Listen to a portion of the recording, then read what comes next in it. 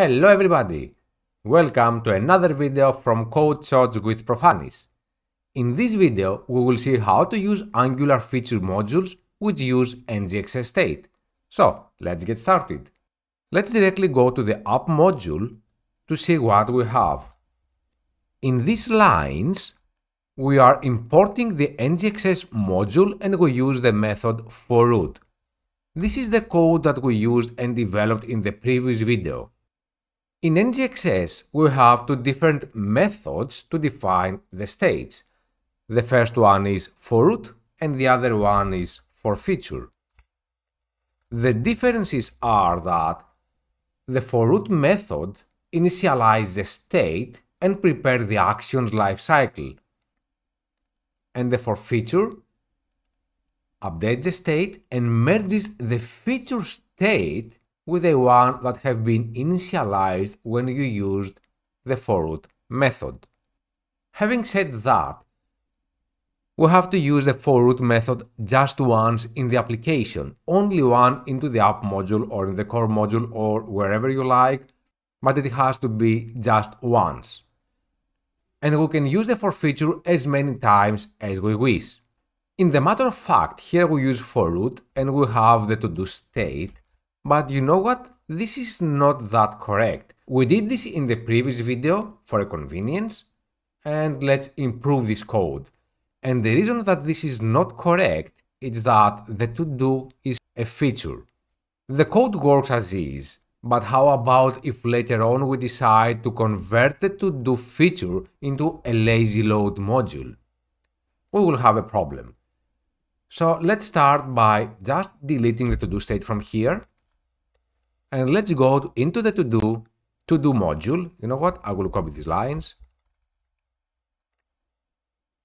into the to-do module and inside here I will import the ngxs module but instead of for root, I want to have the forFeature, I don't want these options here and inside the array I will use the to-do state. Let's import this and this is it. This is how we use the ngxs module into an Angular feature module. Let's go to the browser to see what we have. Let's add some items. I will add buy milk, add, and it seems that it works.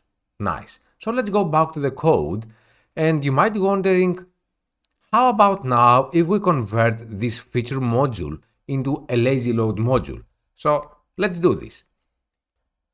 I have converted the to-do module into a lazy load feature module. So let's see what we have done. Let's see the code. Let's go to the app module and what we can see here is that we have the app routing module and if we follow this module, what we can see is that we have the path, which is to do, and we use the method to load children. We are defining here the path to lazy load this module and let's go to the to-do module now. And here as well we have the router module for child and we are defining an empty path. And for this path, we are saying to Angular, I want to render this component, the to-do list component. So this is how we have converted this feature module into a lazy load module. So let's go to the browser to see what we have what we can see is just an empty screen and here we have, yeah, I know it's a bit ugly, but this is our menu item and if I click the to-do list, we can see the to-do items and let's see if we type anything if this works. And yeah, it works just fine.